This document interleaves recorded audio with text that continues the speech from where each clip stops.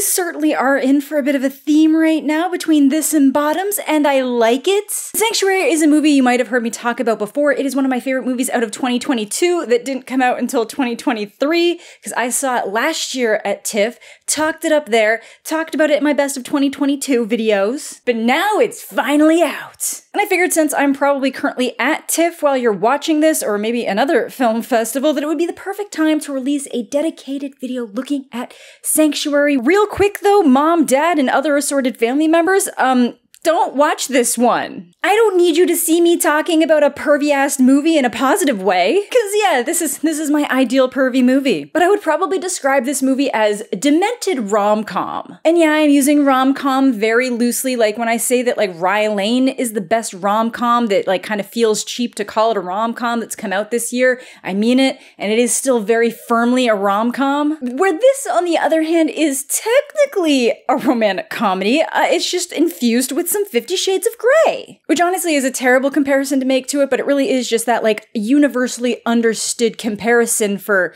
Dommy stuff. So this movie will definitely not be for everyone. I'm sure a lot of people will actually keep it in that same category of your schlocky things like 365 and 50 Shades. I'm sure a lot of people will find some of this very cringe and at times maybe but I don't know what to tell you, friends. I had a blast with this damn movie. Yeah, there's a couple moments where the dialogue gets a little bit cringe, but I just love the spirit of it. Also, I'm cringe. Truly just a fantastic little movie for all the pervy weirdos out there. Now, obviously, we are going to go into some spoilers. I will let you know when we're going into like the conclusion or the ending. So if you want to like bop off and finish watching it uh, after you kind of get to a certain point here, you can. But you know, it's like it's the kind of movie I don't really think you can spoil because it really is just the dynamic between these two people that is so interesting. Sanctuary, starring Christopher Abbott and Margaret Qualley, confines the heir to a hotel empire and his dominatrix to a hotel suite in a battle of mental turmoil as he's trying to end their long-standing arrangements. And while it is a full on dominatrix scenario, there is no touching in these arrangements. The reason that I don't touch my clients is that what they need from me is not physical, it's mental. Though I will say, just because you don't see anything graphic, um, there is a lot of audio that makes it very clear what's happening. Because just because she isn't touching him at times, he can touch himself. But Sanctuary is a movie that kind of plays out in these different stages. It starts with what seems like some kind of interview to see if he's fit to be CEO of a company, but it is a scripted scenario. And I mean a very scripted scenario. Everything from the mess ups to the stuff that seems like it's going off script is all there very intentionally to be part of the experience being crafted. And that experience obviously continues to ramp up until she has him on his knees cleaning the bathroom. How? Yes. When you think of yourself, what do you see? Is it something like garbage? And that scene, largely about someone being vetted for a CEO position, is a little bit of foreshadowing. Hal's dad here has recently passed away, so he's being transitioned into the CEO position of his father's hotel and resort empire. And because he's about to be in this highly respected position, he feels like it's time to end his long standing dominatrix appointments with Rebecca. He wants to be seen as a winner, and winners do not get dominated. Though I would probably argue the opposite. It is probably very common for people with exorbitant amount of money to pay exactly for this thing. Like, I feel very confident that someone has Jeff Bezos on his hands and knees scrubbing a toilet with a toothbrush right now. But yeah, base expectation is that if you're some ultra rich CEO, you are paying for some kind of Dom stuff. Remember, kids, it wasn't normal that Christian Grey wasn't paying anybody for their services. He was cheap. Oh my god, I almost forgot we are wearing the prototype for Christian Grey right now. You know, at least Hal here leaves her off with a $30,000 watch. Like, talk about a severance package. And like most people being fired out of the blue, she doesn't exactly take it the best. Then I apologize. An apology? What am I supposed to do with that? But she is leaving until she sees a picture of Hal's family and the way he's looking at his dad, and it's so clear that he just wants to make him proud, even now, to be the man his dad never believed he could be. To the point that he was stealing lines from his book. I need to match up my insides with my outsides. I match up my insides with my outsides. You read my dad's book. Congratulations. The person who wins. I am a person who wins. You couldn't even fire me without stealing from him. So she starts to realize that the only reason Hal even has a chance at being able to effectively run this entire hotel empire is because of their time together. He went from this pathetic little guy unable to advocate for what he even wanted from a dominatrix to scripting out his own experience scenes. Of a woman dominating him. I don't know what you guys are thinking, but that's growth. But he is very aware that his dad saw him as someone who loses. And that's how Rebecca's gonna get under his skin. It doesn't matter what my father thought. I can do this job. I know what it takes. I am I am prepared. I believe you when you say that. And she's making good points. If his dad didn't believe in him, who's the one who gave him all this confidence? The one who made him think he had a chance at doing this job? You would be unfit if it were not for me. You don't even fucking know what happened. I taught you how to ask for what you want. You couldn't do that before you met me. So, for the work she feels she's put into him, she wants half of his first year's salary as CEO. $4 million.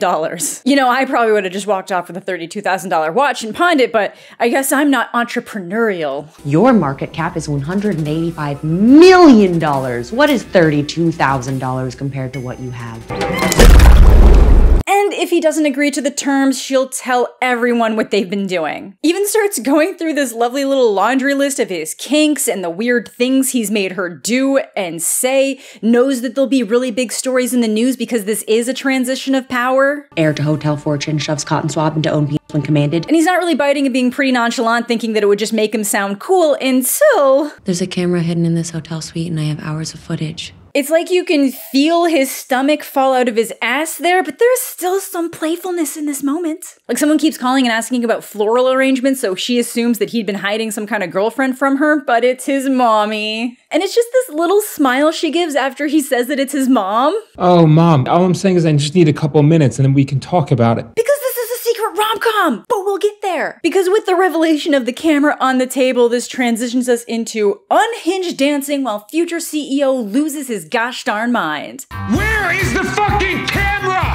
If you want to see it so bad, then fucking find it. And there is lots of fun camera work here. We have these like neat little pans, these fun mirror reflection shots as he's starting to trash the place. Just a super fun way to keep things pretty dynamic when we're just locked into this single location. And as there's just going through this, you'll notice that like anytime he tries to get a one up on her, she just finds a way to flip it back on him. And even though he's clearly very stressed out, he's also like really into it. Like his little soldier standing at full attention.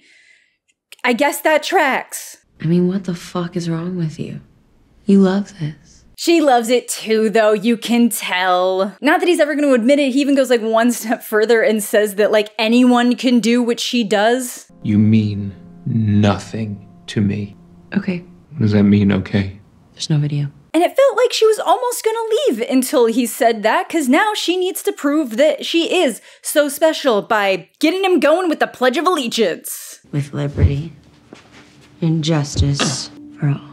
God, I love to see a professional at work. And then things start getting really wacky. Yeah, that's right, seducing someone with the Pledge of Allegiance wasn't the wacky part. To further prove that he is so dedicated to what she wants at all times, she basically just like starts straddling him with a knife to his neck. Just say to me that you don't care what I want and that it's not the most important thing to you. Say that and I'll stop. And he can't do it.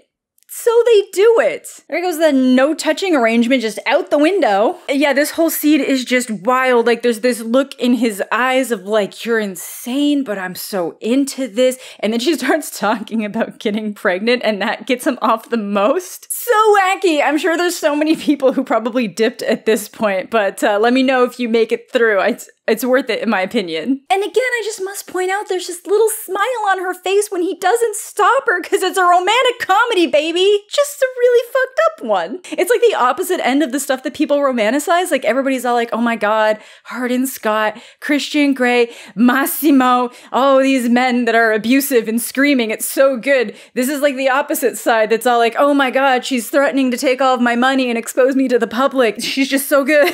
And yeah, apparently it was so good that that's all it took for him to say, I'll pay it. Half my salary for the first year, and half my bonus. for a total of $6 million. Bravo! All star performance. She even starts telling him how to set up all the funds to avoid IRS scrutiny. He's gonna set up two corporations in the Caymans, one for you guys, one for me. You should be typing. The Caymans, that's a tax shelter, right? We love a business bitch! But you may notice that she almost seems sad to be getting exactly what she wants. The music even flourishes downwards. But again, she leaves, gets in the elevator, which is like the only thing stopping this from being a 100% single location movie, but I'm still considering it a single location movie because before the elevator can actually go anywhere, he pops up and I was like, "Oh my god, is he what, what's what's going to happen? What's going on?" But it's really just more that he's now concerned that there is nothing stopping her from coming back and doing this all over again. So he wants collateral, but the way he words it just pisses her off. that you can do this again and again and again for years, and then I have to see. Um, To see me again. So now she's saying that the actual solution is for him to find something to keep her happy forever, like a job in the company with good salary and benefits. Would it be weird if we were co CEOs? yes. Has anybody done that? God, she's so unhinged. I love it. I feel like that says something about me that requires further reflection, but that's for my therapist to deal with. Are you insane? Oh my god, I don't know what you're doing. All right, so right about now is probably where you might want to hop off if you don't want to know how it ends or you want to like watch the movie yourself to see how it ends. I'm just giving you a warning. We're just we're just working into our conclusion here. This is a nice breezy little movie. Which brings us to the biggest mindfuck after she's told us that there's no video, which made more sense. It really did seem like this kind of like Hail Mary play that wasn't true. Uh, turns out it was. She does have videos. Obviously, the camera was in the bathroom. Why did you do this? You wouldn't believe me. Now, I will say, obviously, super not cool, massive violation of trust. Like, this is exactly the type of thing that I'm sure he paid insanely good money to not have happen. And then for him, it goes this like one step further because this whole scenario is the only thing that feels like it's like actually his. And obviously, he'd be super bothered if his mom and the board of the company knew what he was doing in his free time. The people I work with, my family, my mother, they ca- they just cannot see that video. Do not ruin my intolerable, pointless life. Do you even know why you're doing this, or is this just the game? Yes, I want to play this game. And this is when we get down to some truth, but she has kind of mentally beat him down so thoroughly that he's not gonna see it as that. But like, obviously, $6 million is more than enough for her to live on. She is smart, she'd make that last. There's no reason for her to keep doing this when she got exactly what she wanted. She wants to play the game. And not just the game with everyone, specifically with him. To the point that she's fired all of her other Dom clients because it felt disloyal to what they do. Even ended her relationship with this guy named Alexander, who we heard crying to her on the phone in the elevator earlier. Alexander. A- Alexander, I can't hear you. Because you're crying. Because this is a romantic comedy, baby, and sometimes it's just the weird swings of life that bring us together. I'm so sorry. I just, I can't stop. I love it. As mentioned, Hal obviously thinks this is all bullshit. Why wouldn't he? She has just been mentally torturing him for hours, and now she's trying to pull this whole like, no, I've let go of everything else in my life. I'm doing this because I just love what we do together. That's what matters to me. Why do you think that I started taping the sessions? It was for me. Stop. So that I could have them. But you can see it in her eyes. It's so sincere, and that's why she was taping the sessions. It was for her fun time afterwards. Again, we're just not going to question the ethics of that too hard. Obviously, it's very unethical. It's not trying to present itself as ethical. It's unethical. I'm so tired. You're not gonna mind fuck me like this. We fit Did you perfectly. hear me? Sanctuary, sanctuary. I'm using the safe word sanctuary. Oh, right. I totally forgot that the title is their safe word. I love that. But because of everything that's been going on, as expected, he is so completely exhausted and just is trying to flip control because he just can't believe what she's saying, won't believe what she's saying, and needs her to say that it's all a lie, that it's just like one other piece to the like, I'm fucking with you puzzle. To the point that he starts threatening a murder suicide. I will kill you. And then I'll kill myself. Which, hell man, come on, that's just dramatic. Like, I know this is rough, but like, come on, my guy. Just tell the truth. I am nothing. Okay, wait, is he now turning this into another Dom scenario? Because I think he likes being called nothing. And then somehow it gets even wackier. She tells him she wants to play a game, like he literally has a knife in her face, and now she wants to try role playing as his dad. I came back from the fucking dead to speak to you, so the least that you could do is say hello. MILF Manor, move aside. We got Heir to Dilf on the line. Oh, that would that would be a good show. Heir to the Dilf. Ooh, TLC, hit me up. I will say though, as weird as this gets, she commits. Boy, do not test me! It is super weird, but then it actually ends up being this like acted out therapy session in role playing form, which is actually a thing, but like definitely not in this scenario, the way that they're doing it. But like, it actually like works and helps him realize that he doesn't have to be anything like his dad. It's okay to be himself and it's okay to be proud of who he is and be okay with the way that he is. I'm nothing like you, and I don't have to be. Which brings us to our final transition where she wakes up the next morning, deletes all the videos, and they start to go their separate ways. Which is when he realizes that, like, he might not actually want to do this job. You know, he loves the company, but he hates all the people that work at it. What if you took the job? Not me. Basically, in their little chat, she mentioned something called a management buyout, and he basically says that he could do that, but then put her in charge instead. They read books, they hire coaches, all to be exactly like you. That this would basically just be her playing the game she loves so much at this like super high stakes all day long with people who suck, so she doesn't have to feel bad about it. And then he can just be there to supply her with comfort, support, stability, food, all level of basic necessities. What do you call the person that does all those things? A slave. That is the job that I was meant for. And as the romantic music starts to swell and the elevator door opens, she asks what's he gonna tell his mom about all this. I'd say, This is Rebecca. We're in love. She's in charge now.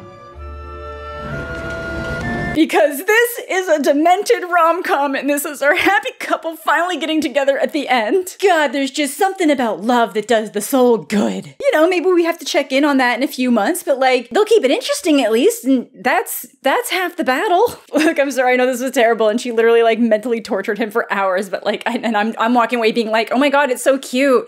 She really she really just mentally fucked with him. He was so into it. I'm gonna email my therapist. Jokes aside, on top of it being this play on a rom com, it is largely a movie about being your authentic self, learning to be vulnerable, and not falling into the expectations life may have laid out for you. I think Margaret Qualley and Christopher Abbott both absolutely shine in these roles. Abbott is a consistent film festival favorite for me, and Qualley is just absolutely electric in this with how she had to like shift around from tone to tone. And it's so fun to see all the different little flips in dialogue throughout. Do you, uh. You, you, you don't want this? Do you want this? It's not broken. No, it's waterproof. You're not as stupid as you look. You don't look it, but you really are so stupid. But yeah, that's Sanctuary, my delightful little off the cuff rom com recommendation of the year. It's definitely not the movie for everyone, uh, but it does actually have very high reviews, both for critics and audiences on Rotten Tomatoes. So I am very proud of this movie. Like maybe that is is literally just because its intended audiences is, is finding it and other people just aren't, so they're not skewing the reviews. But I just genuinely believe that this is a near universally loved dommy pervy little movie because it's adorable. But yeah, that was a nice little quick one there for you today because it's a very breezy movie too. It's like 88 minutes or something like that. So it's a real easy watch, real fast watch. But I just had such a delightful time with it. I really just love this this battle of wits. And then when she does actually start just like baring her soul for him and like being honest with him genuinely, she's just messed with him so much at this point that he can't even begin to like believe it or or trust it or process it in a normal way. I, I think it's so fun. But that is to do it for today's video. Thank you all so much for watching. Thanks as always to my Patreon supporters and YouTube channel members. Subscribe to the channel if you're new. Leave a like on the video if you're into that kind of thing. I hope you're all having a fantastic day. I'm mostly okay, and we'll catch you all later.